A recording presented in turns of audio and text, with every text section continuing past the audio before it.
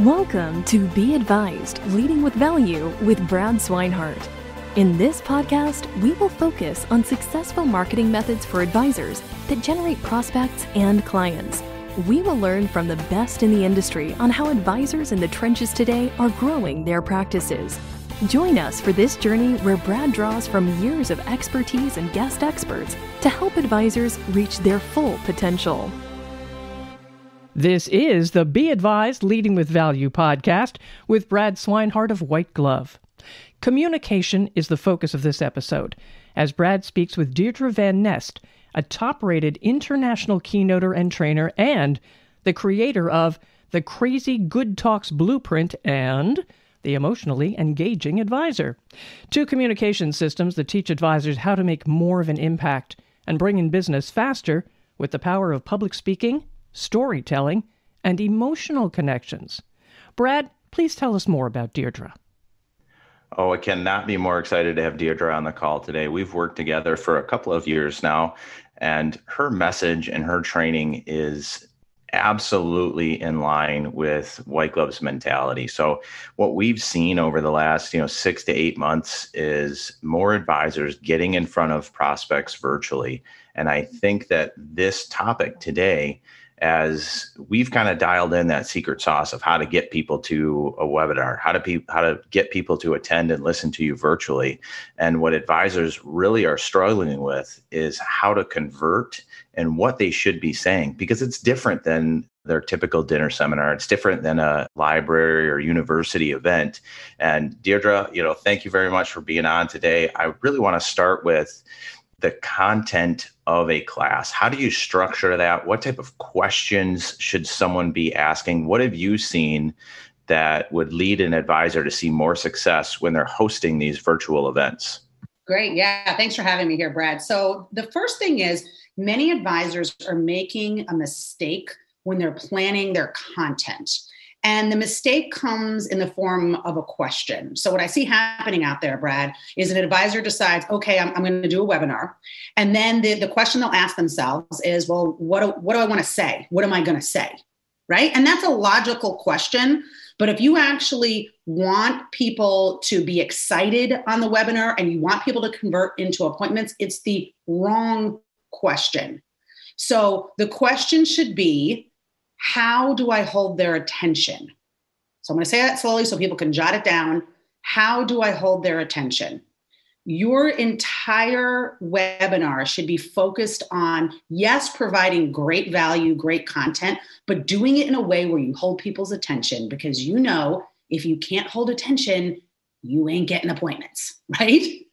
Oh, that's perfect. And I think too, you know, there's that Zoom fatigue. There's there's people are they have the ability to not pay attention when it comes to a webinar. You know, I think advisors do minimize the real impact of that because when you're at a seminar, it's rude to look off, to pull out your phone, to walk out of the room. But if you're attending a webinar, they can't see you. You could be playing uh-huh. Candy Crush on the other screen, right? Totally, to- absolutely. And listen, Brad, when we go back to doing live events, and that will happen at some point, this webinar is is really evergreen. I'm, I'm sorry, the podcast we're doing right now is evergreen because these same tips some of the same tips are going to apply when you get back live. So even when they get back and they're doing their live events, you should be asking yourself, how do I hold attention? But yes, this question is paramount in the environment we're in when you're doing a virtual event. And we see that. We see that in some states and in some areas, live events are coming back and the attendance is kind of you know hit or miss if you will and and advisors will have to adapt to that. And i think more than anything else we've realized that virtual is never going away. If anything else it's just another tool in your toolbox. Now there's going to be people that are comfortable going to a restaurant or a library but there's probably just as many people that are more comfortable sitting at home in front of their their screen because now they're used to it. They're used to communicating with their family and friends that way. So they're also used to getting education that way and it's becoming more and more comfortable And this One, is such great news for the industry. I know there's a lot of advisors. I work with a, a, lot of advisors, and there's a lot who are scared about this and oh my gosh. And no, this is such great news for the industry. I feel like the, the pandemic has forced this industry into this century, quite frankly, when it comes to technology. We're, we're finally catching up to all the other industries in what we're allowed to do. The fact this is becoming commonplace just gives you, the advisor, another tool in your toolkit and it allows you to leverage your time in a way that you were not allowed to leverage it before. So, fully embrace this tool and add it to the live events when those live events come back. Oh, absolutely. The efficiency that you can do these webinars at, you know, you can use pre-recording and there's there's methods there where you can make them still appear to be live.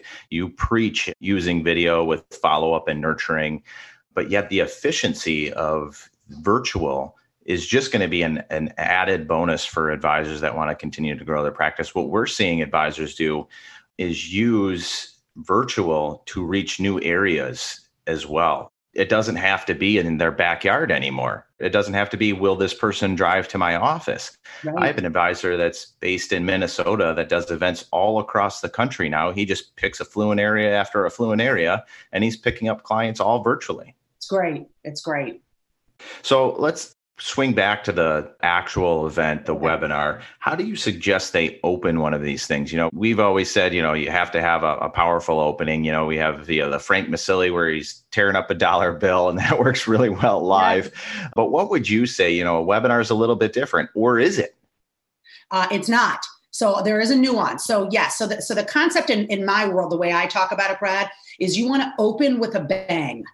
And that means you say something, we'll talk about what that something could be in a moment. You say something to grab people's attention right away. Because, Brad, how long will people take before they decide if, if you're the speaker? How long will they give you before they're like, yeah, this is going to be great, or eh, I'm out? What do you think? Oh man, if you get more than 60 seconds, you're blessed, I would guess. Yes. That's a generous person. Yeah. Um, it, it's usually like five to 30 seconds. They're going to decide really quickly if they're in or they're out. And so most advisors unfortunately waste those first five to probably five seconds to five minutes. I've seen advisors go as long as 12 minutes before getting into anything good, what I call the unpleasant pleasantries and the unpleasant pleasantries are the things that are really pleasant when you're talking with someone one-on-one right? The hey how you been? What's going on? So glad to be here blah blah blah blah. That's all very pleasant when you meet with someone one-on-one and that's kind of a, a social norm and i'm not saying get rid of that. But when you're hosting an event for a group of people there's no place for the unpleasant pleasantries. Though they're, they're unpleasant because people don't care about them in that environment you've got to dispense with them. And, and Brad, before I tell the group what to do, I want to just, I want to really drive this home with this analogy because I, I, really want your advisors from this point forward to never engage in the unpleasant pleasantries again, whether they're doing a webinar or a live presentation. So Brad, let's pretend, uh, let's pretend you're my advisor. Okay. Okay. You and with I you so far. with me so far, we're, we're sitting down and we're having a meeting, and I say to you, "So, Brad, you know what? I've been telling you that i I'm going to be uh, inheriting this piece of oceanfront property, Pacific coast of California. I inherited the property. That this just happened last month, and I've been thinking about what I'm going to use the property for. And I want your opinion on this. I think I'm going to use it uh, for a garbage dump. Say what now? Yeah, a garbage dump. What, what, do you think it's a good idea? Yeah, I think that's a terrible idea. Yeah. okay, so so go with me on this. Just indulge me for a moment. Okay, I'm with you so far. Sticking with you. yeah, yeah. This is not that hard, right? This is not that hard. So tell me, why is that a terrible idea? Well, because then I don't get to see the ocean. I thought you were going to invite me over. I thought we were going surfing. I thought this was going to be fun. Yes, it's not going to be fun at all, right? So here, here's the deal. Would you agree that any piece of land is considered an asset? Would you agree with that? Yes. Okay. Would you agree that oceanfront property is prime real estate? Oh, absolutely. Okay. So now let's talk about the webinar or the live presentation. Your webinar is not just a bunch of words strung together. Your webinar, when it is strategically crafted and you have crafted it so that you're holding attention and you're actually getting appointments from it, is an asset And let me give you an example of what one single webinar or live presentation can do for you. One of my clients, Mike, is an advisor, top producer, been in the industry about 25 years. And I helped him rewrite his, his sort of standard college planning seminar, if you will. And so I got an email from him about a year ago, and he said, Deirdre, I was just calculating how much revenue I have generated over the years from that one presentation. And Brad, do you know how much it was? I'm excited to hear now. You've yes. got me hooked. it was north of $2 million. Wow. Yeah. We're not talking assets under management. This is income for him. North of $2 million from one single college planning webinar, t- uh, live presentation. It wasn't a webinar back, you know, because this just. I would say that's. A, I would say that's a needle mover for me anyway. I mean, an extra two million dollars would be a needle mover for me. For I think for most people, it's it's a total game changer. Needle mover, game changer. I can't quote those numbers for every client, but I see this thing with clients over and over again where we craft the webinar strategically. You know, they all of a sudden they're getting no appointments, and now 80% of the room is signing up to meet with them, or 50% of the room, or Mike gave me some hard numbers, which was which was lovely. But the, the point is, do you think Mike considers that a bunch of words just strung together, that presentation, or do you think he considers it an asset?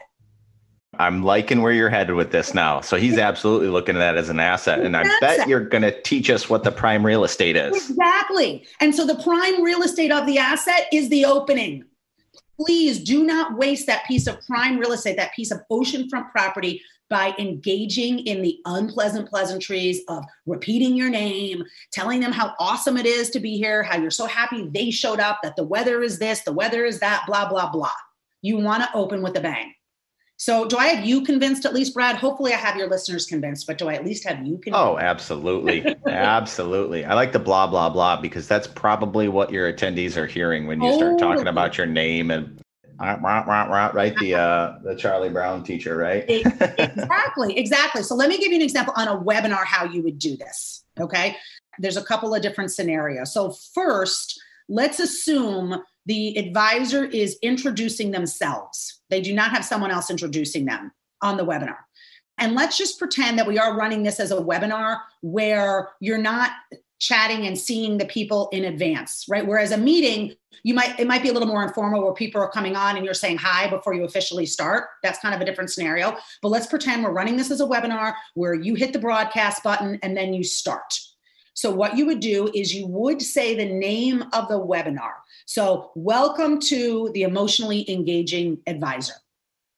And then I would open with my bang. And my bang if you want to do this in a way that's fail proof, is to either ask an interesting question that kind of foreshadows where you're going to go, or to give them a benefit statement. So I'll give you an example. Welcome to the Emotionally Engaging Advisor. If you want to learn how to increase trust, connection, and likability in four minutes or less, across all communication platforms, you are in the right place. Hi, my name is Deirdre Van Nest. I am going to be your host for this evening, and I am so excited to welcome you here. Let's jump into the first step for making that emotional connection, and then you, you know, go into your content. Immediately sounds way better than blah blah blah blah blah blah blah. Yes, yes right? And who is not going to go, oh, I totally want to learn that? That's why they're there. And they know that you mean business. My introduction, necessarily justice. If they don't know you, then I would add two or three relevant credentials. You do not need to get into an entire bio. So uh, for me, I'd say, Hi, I'm Deirdre Van Nest. I'm an international keynoter and creator of the Crazy Good Talks Blueprint and the Emotionally Engaging Advisor. So let's jump into tip number one. And then I'd, I'd go. Okay, Deirdre, to sum that up, what is the most important thing an advisor needs to focus on with their opening? The most important thing is making sure it really is if you're if you're asking a question or giving a benefit statement, it's something that that particular audience wants, right? So you've got to tie the question, the benefit statement into like you got to get in the head of that audience and think, is this going to be something interesting and of value to them? Because it's going to be different for different audiences. I love that. Let's switch gears here just a little bit. One thing that a lot of advisors are telling me is that they're having trouble maintaining the energy through a webinar. These guys are seasoned. They've done hundreds of dinner workshops. They've done hundreds of events at a library or community center. And you know, you're a you're an awesome keynote speaker you feed off the audience you can see them leaning in and you know you can you can keep hammering it or you can see that they get confused and you need know you need to slow it down and maybe make it a little bit more high level how do you maintain the energy throughout a webinar yeah, such a good question. And this is a real challenge for a lot of people today. So I was uh, meeting for dinner last night with another friend who's a keynoter and a trainer. And we were both saying how much energy we get from webinars which sounds really weird, right? And I'll be honest, I never expected. Now, I've been doing virtual meetings and trainings group clients for the last eight years, but I've really ramped up the webinars I'm doing because before I was, you know, almost 100% live when when companies would hire me. But I'm getting so much energy from webinars, and here's kind of the, here's kind of the secret. I'll give you the first secret, Brad, to getting energy from a webinar is you actually have to be able to see in your mind's eye that you are talking to people that there are people on the other side of that webcam.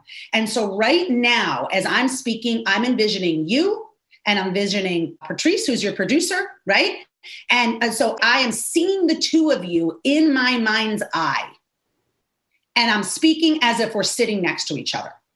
If an advisor struggles with that, because a lot of people that's a little bit of a leap for them. Here's what I recommend, and this might sound really silly, but it works is take a picture of someone that you really like, print it out, cut out their head, put it on a popsicle stick, and tape it right behind that webcam. Okay? And you are looking at them and talking to them the entire time.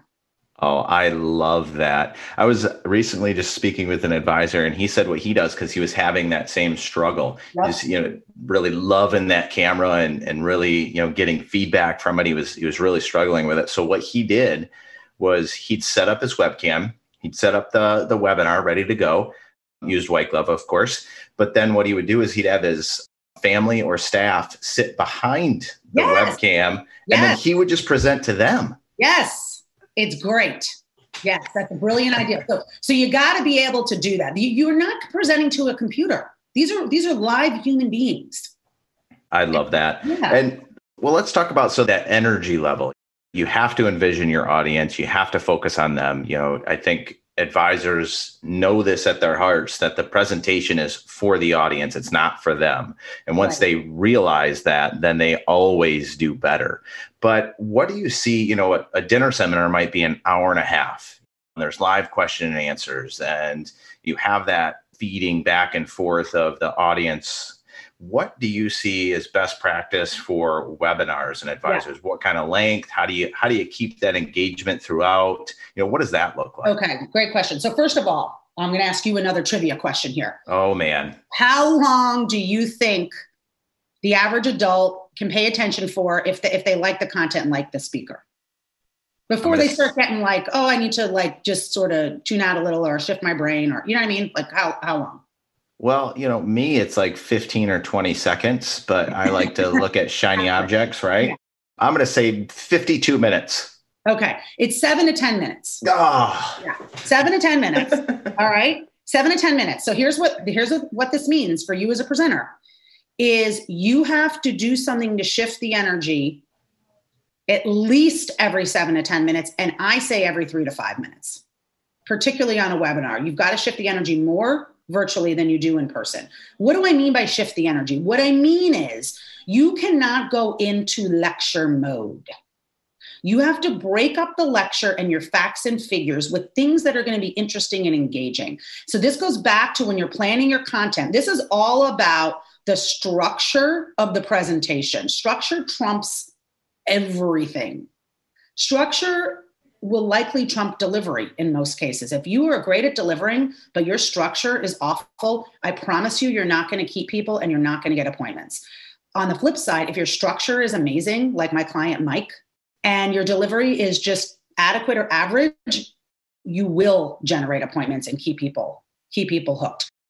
I have a formula that I teach my clients in the Crazy Good Talks blueprint when they're structuring their webinars. It's called CETA, C E T A. This is how I'm going to go over this at a very high level, Brad. This is how you actually keep the energy moving. You take each point in the presentation and you apply this CETA formula. What it stands for is C is you got to be conversational. You want to be talking to people as if you're talking to one person, like we're doing today, sitting across from them having a cup of coffee. You don't want to use uh, a lot of we's, everybody's, anybody's. You want to use the word you. You want to use informal language. You want to talk like you talk. You don't want to talk like you write. You also don't want to use a lot of industry jargon, particularly if you're talking directly to the consumer. Do not use jargon. Don't say liquidity when you can say access to cash. Okay. So be conversational. The second is you got to provide people with an experience. You got to look at your webinar as an experience. This isn't just a monologue, again, a lecture. You've got to weave in things that we've been weaving in today in this podcast. I think you'll notice that I've been weaving in these trivia questions to Brad, right? When I'm talking to a live audience like on a webinar, I would have the audience typing those answers in the chat or in the Q&A function. Okay. So you're not just spoon feeding them all the information, you're getting them to interact and go back and forth with you. And then I would comment on the things that they say. I think you'll notice that I've told you a couple of stories during our time together. I've woven in some analogies during our time together. So I'm giving you facts and figures, but it's woven into this tapestry of an experience. Uh, the third is you got to get people thinking and thinking about themselves. So you want to ask them questions like, when was the last time you did XYZ? Think about in your own life. Have you ever done this? Get them thinking about themselves. And also, and this kind of ties in with that experience, don't just spoon feed them content. When there's a specific fact or figure or statistic that's interesting, but it's not so interesting as you if you uh, present it as a fact or a figure, ask them to guess what they think like i've done with brad. And again get them interacting in the q&a or the chat. And then yeah, i've gotten i've gotten everyone wrong so far so that's not very fun. You have not. You so have not you definitely have it. And then finally, the A in, in CETA stands for application. You don't want your webinar to just be like this nice exercise where they're like, oh, that was really fun. Now, what do I do? Give people something tangible, a tangible tactic they can use to make their life or their business better. Like I've given you several strategies during this podcast on how to make your webinars better. And what we see too, and I uh, wholeheartedly agree with everything that you say, what we've seen too is using tech, especially in a web setting, use tech to your advantage. You know, instead of asking a question and having them chat, you can even pop up a poll and then they can see what other people responded. It's great. And one of the things of getting people to interact on your webinar is that when it comes down to the call to action, and I need your viewpoint on this, Deirdre, but when it comes down to the call to action, if they've been interacting the whole time, if they've been answering chats, if they've been answering polls, if they've been clicking on things during the webinar, when that calendar app pops up, it's just natural. They're already programmed. Their mindset is already, I click on this, I click on this, I click on this. And it's not jarring when it comes to that call to action. You know, yeah, 100, 100%. 100%. You want to get them doing things. And don't be afraid either in a webinar to give people 30 seconds or a minute to do an exercise on their own and have them type their answers in the chat or the Q&A. You can do that. I like that a lot. So, mm-hmm we've talked about the the content the questions. We've talked about hey let's open with a bang. Let's keep that energy you know but it all boils down to and i would i would say most advisors agree that it doesn't matter how many registrants you get doesn't matter how many attendees you get it all matters how many people commit to that call to action and book an appointment with you. Absolutely. and what would you say? What is your take on that call to action? How should they do it? How often should they do it? What should it be Yes. Okay. Great question. So here's here's the kind of the formula for the call to action. So the call to action actually starts in your opening. The mistake that a lot of advisors make they set the call to action up like a commercial, right? So it ends up being, Brad, like one part education, one part commercial. Have you heard those presentations before? Oh, yeah. Yeah, they're terrible. Yeah, and it's very awkward for the advisor. They jarring. Feel- I always mm-hmm. think it's jarring that it you're is. you go into for education, then all of a sudden there's a commercial. It's like commercial break. That's when I go get my chips and soda. That's exactly it. I literally once had a client say to me, "Okay, now for the commercial," and I was like, "Oh no, I don't say that ever." You know. So here's what you do. So this doesn't feel at a left field. It makes it really easy for you, the advisor, to go into the offer whenever you do a presentation, you should have what I call a roadmap or an agenda. You might know it as an agenda, where you actually tell people first you're going to learn this, then you're going to learn this, and then you're going to learn this. So let's say you have three points, right? You always want to have what I call a final destination in the roadmap. The final destination, so it sounds like this. In the next hour, you're going to learn A, you're going to learn B, you're going to learn C, and finally, before we wrap up, I promise you, I'm not going to leave you hanging. If you want to learn exactly how to apply what you're hearing tonight to your personal financial situation, you're going to get access to a free resource to get you started, or two free resources to get you started. So, what you've done there, Brad, is you have foreshadowed that this is coming. And then when you go to make the offer, and we'll talk about that in a moment, all you're doing is delivering on your promise. That makes perfect sense. And then what we've seen best practices is during A, B, and C, you can embed trial closes in there in different formats. I, if you guys noticed earlier when Deirdre was speaking and she said statistics, mm-hmm. she said facts, her voice changed, right? She was addressing that type of message in a different way than that normal high energy. And, you know, to me, it's like, oh, that's boring. But to someone else, oh, statistics, that's boring. But to someone else, that's how their brain works. They get fired up when they hear statistics and they want it a little bit lower key. They don't want that excitement. They don't want to be sold. And she's addressing those in different fashion. So she's hit every type of person in that room just in the in the podcast today. And that's that's a little bit more advanced. But you know when we're talking a b c deirdre do you see the best practice as well as to try to hit each one of those types of people that are in your audience? Yeah yeah. Definitely you want to speak to the benefits of everybody in the room. And so that means you have to be thinking about what are those people motivated by? People are usually motivated by about gaining more time or gaining more money. They're usually motivated motivated by kind of ego concerns, right? Being sort of the best, doing right by their family. They're motivated by how they feel, right? You're going to feel better, you're going to have more peace of mind, and they're they're motivated by oh, you'll be able to do more. So if you kind of hit on all of those at least once throughout, you at least, you will hit on hopefully the majority of the audience. I love that. And we see typically there's there's the people that are going to make the bulk of the people are going to make decisions based on emotion, but then you also want to hit the audience members that make decisions based on tactical reasons. Yeah. And then there's the strategic thinkers that just need more information and they love that data. So if you can hit each type of person in the audience, you know, like Deirdre did today, then you're going to convert more. You're going to have that call to action at the end is going to be much more effective. Yes, absolutely. You know, and don't be afraid. Here's where I thought you were going with that. I love what you just said. Um, but here's where I thought you were going with that. One of the things that I did earlier is so you're letting them know that this offer is coming, but don't be afraid to not obnoxiously, okay? But don't be afraid to casually seed what's called seed. So drop a seed or two throughout the presentation. So, one of the things you might have noticed that I said earlier on, and I don't remember what point I was making. Oh, I know, when I talked about CETA, I said, so I, when I work with my private clients in the Crazy Good Talks blueprint, teaching them how to write webinars, this is a formula I teach them. That was a seed. Like right there, I'm letting you know that I work with private clients and I've got a formula and I can teach it to you. Don't be afraid in one of your points to say, so when I work with my clients, when my clients come to my office, this is what we really zero in on. That's going to let the listener go, oh, he or she works with clients. They come into their office. I might want to be that person. Does that make sense, Brad?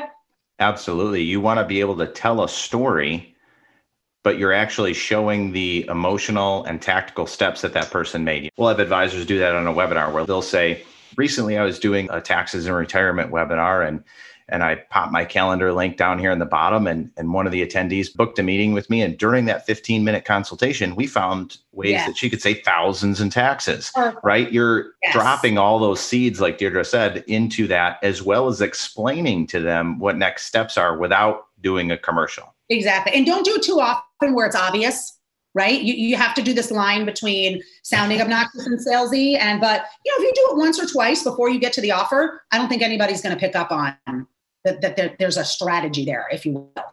Yep, you so want to you want to change their change your method of that call to action, right? To to hit all those points before the end of your webinar. Yeah, and then let's talk about the call to action if that's okay. So then, let's say you have 3 points in your presentation. You finish point number 3 and you say, "Okay, so, you know, before we close, I did promise you access to two free resources. Like if you're sitting here right now, like many of my audience members do, and I'm seating when I say that, right? Thinking, well, I wonder what my financial picture looks like. I, I wonder how this applies to me personally. Then these resources are a great next step for you. And then I always recommend that my advisors have uh, what I call a digital gift that's something that you can send to those who are not appointment ready yet. So, some sort of tips list, a checklist, something that they'll want that has to do with what they were just learning, but goes deeper. So, you can capture their email addresses and nurture them over time. And then the second resource is what I call a strategy session. Please don't ever call this an appointment. Nobody wants another appointment. I don't know, Brad, if you woke up saying, I hope someone offers me an appointment today, but it's unlikely that you thought that. right? right, right. No, but a strategy session to pay less in taxes, wow, I'm all over that. So I teach my clients and I use the word strategy session. You can, you know, you can pick another word if you don't like that terminology, but try to avoid using the word meeting or appointment. People are sick of meetings, people don't want more appointments.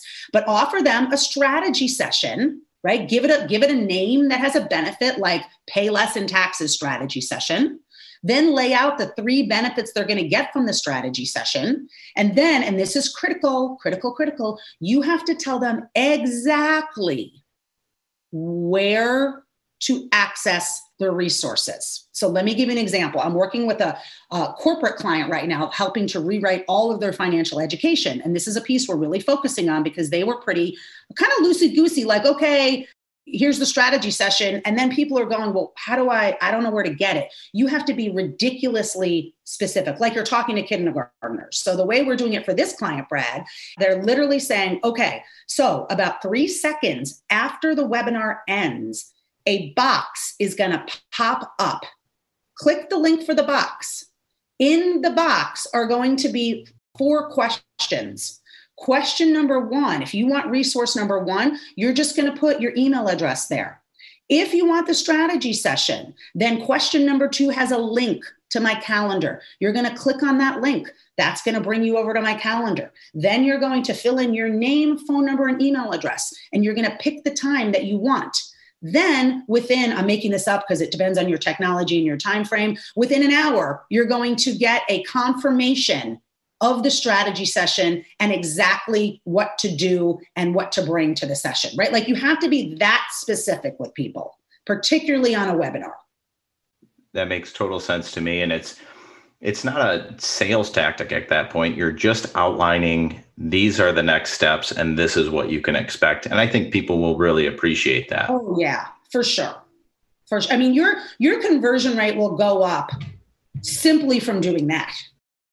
Well, Deirdre, I just want to say thank you. I think there was tons of knowledge dropped in this podcast today. You know, I, I know that you give out a ton of free value add stuff. Where do people get that again, just so that they're clear on that? Yeah. Yeah. So my website is crazygoodtalks.com. And if you go to crazygoodtalks.com forward slash TV, you'll get to Crazy Good Talks TV. And Crazy Good Talks TV is a series of 26 video episodes giving you tips like you just got today. So, for example, if you like that uh, CETA, you know, acronym that I taught you about how to keep the energy moving, there's five episodes that goes into each one at a deeper level on exactly how to apply CETA and worksheets to help you do it. And most of it, Brad, is geared for live presentations, but everything will transfer to a webinar for today's times. Well, thank you so much for being on the show today. I think that there's a ton of value here. And I know I'm going to update a couple of my presentations to add in some of those key points that you brought up today. So I really awesome. appreciate it. Awesome. Thanks for having me. So many tips for the taking, Brad. You are absolutely right. Thank you, Deirdre Van Nest of Crazy Good Talks with Brad Swineheart of White Glove. To know when more of Brad's Be Advised Leading with Value podcasts are available, just subscribe to this podcast with the subscribe button on this page, and you can share with friends and colleagues with the share button. Thank you for listening to Be Advised Leading with Value with Brad Swineheart. Click the subscribe button below to be notified when new episodes become available. The information covered and posted represents the views and opinions of the guest and does not necessarily represent the views or opinions of White Glove. The content has been made available for informational and educational purposes only. The content is not intended to be a substitute for professional investing advice. Always seek the advice of your financial advisor or other qualified financial service providers with any questions you may have regarding your investment planning.